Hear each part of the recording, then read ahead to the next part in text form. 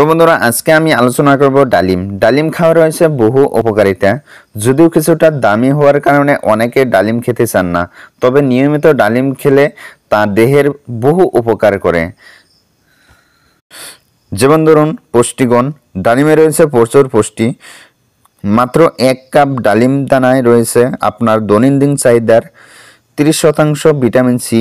ছত্রিশ শতাংশ vitamin K, ষোলো শতাংশ ভিটামিন বি নয় ও বারো শতাংশ পটাশিয়াম। রক্তচাপ।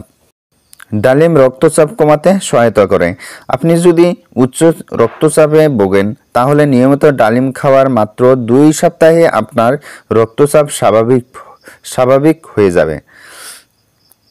আর্থাইটিস ও হাড়ের সংযোগ স্থলে ব্যথা উপশম। ডালিম আর্থাইটিসে উপকার করে।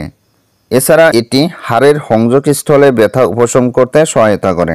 হৃদয় রোগের ঝুঁকি কমায়। ডালিমে দেহের কোলেস্টেরলের ঝুঁকি কমায়। এতে রক্ত চলাচল বৃদ্ধি পায় এবং হৃদয় রোগের ঝুঁকি কমে।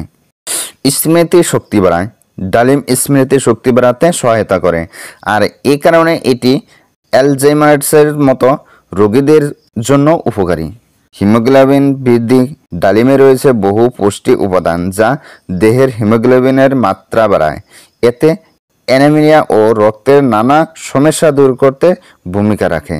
প্রাকৃতিক ইনসুলিন ডালিমে ডায়াবেটিসের জন্য উপকারী। অনেকেই একে ইনসুলিনের বিকল্প হিসেবে বলেন।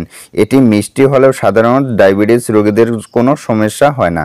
ক্যান্সার প্রতিরোধী। ডালিমের বেশ কিছু উপকার রয়েছে, যার মধ্যে রয়েছে ক্যান্সার প্রতিরোধ।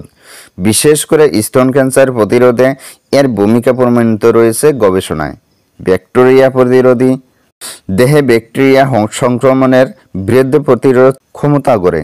দেহে ব্যাকটেরিয়া সংক্রমণের বিরুদ্ধে প্রতিরোধ ক্ষমতা গড়ে তোলে ডালিম। এছাড়া এটি ফাঙ্গাস ইনফেকশনের বিরুদ্ধে ভূমিকা রাখে। শারীরিক অনুশীলনের কার্যক্ষমতা বৃদ্ধি। সুস্থ থাকার জন্য কিংবা ভালো পারফরমেন্সের জন্য অনেকেই শারীরিক অনুশীলন করেন।